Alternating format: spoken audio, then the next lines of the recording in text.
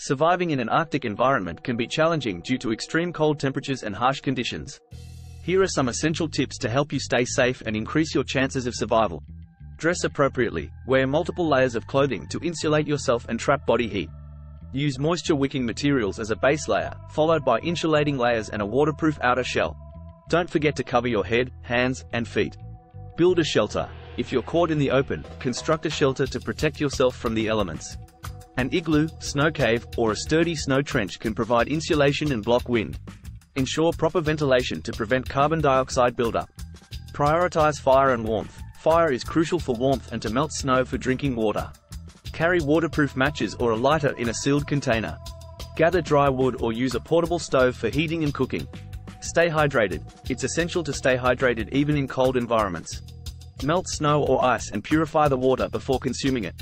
Avoid eating snow directly as it can lower your body temperature.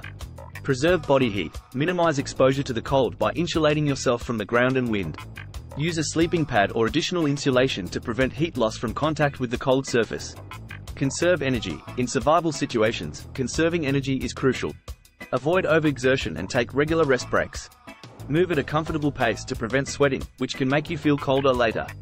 Carry essential supplies. Equip yourself with essential survival gear, including a map, compass, signaling devices, whistle, mirror, knife, headlamp, extra batteries, high-energy snacks, and a first aid kit.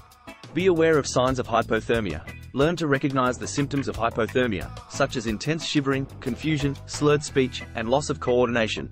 Take immediate measures to warm up if you or someone else shows signs of hypothermia. Pay attention to frostbite. Frostbite is a severe concern in extremely cold environments. Protect exposed skin and extremities, and be vigilant for signs of frostbite, such as numbness, white or grayish-yellow skin, and pain or tingling. Stay informed and prepared. Familiarize yourself with the Arctic environment, weather conditions, and potential hazards. Let others know about your plans and expected return time. Carry communication devices, such as a satellite phone or personal locator beacon, if possible. Remember, survival in the Arctic requires knowledge, preparation, and resourcefulness.